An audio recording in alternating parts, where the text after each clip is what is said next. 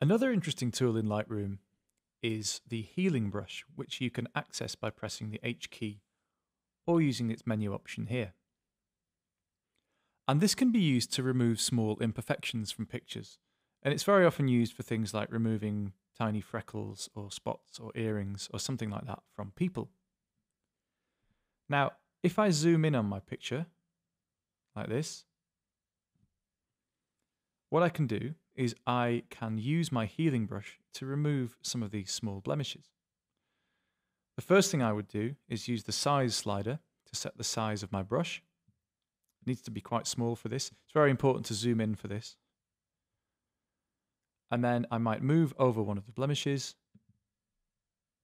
click on it, and then Lightroom is going to guess that I want to take the texture from this area here and overlay it onto that area there, thus removing the blemish.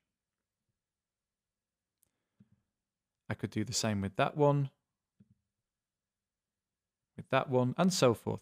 And if I decide for any reason that Lightroom's guessed incorrectly, I can pick up the target and I can say, actually, I want you to clone that bit onto it or that bit onto it. And Lightroom will do it for me.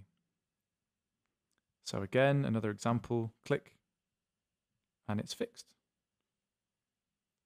If you don't want to apply 100% coverage, you can drop the opacity down. And the feather control is used for controlling the hardness of the edges of that area. So if you want a more subtle effect, you can increase the feathering so that it's not kind of a hard circle that's applied. It's more of a sort of like an airbrush effect. This brush has another mode that's called clone. And in this mode, what I can do is literally copy one area of an image to another.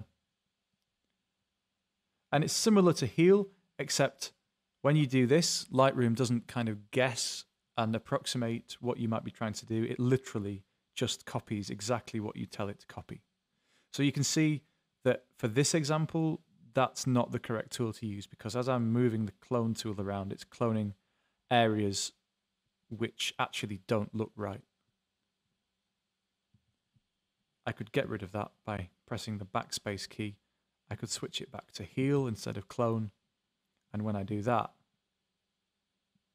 it makes a better guess at covering over that blemish. If I come out of brush mode, all those little markers will disappear. They're still there though. So if I go back into brush mode, I can see all the little edits that I've made. They're still there, but I don't have to see them if I just come out of brush mode. There they are. And you can see here was one that I actually did incorrectly. So if I zoom back in, and actually remove that. Oops, there we go. I actually want to remove that. So I'll just press the backspace key and then I can go fit to zoom back out again. And I've removed that one that didn't work quite so well. So that's how you remove small blemishes in Lightroom.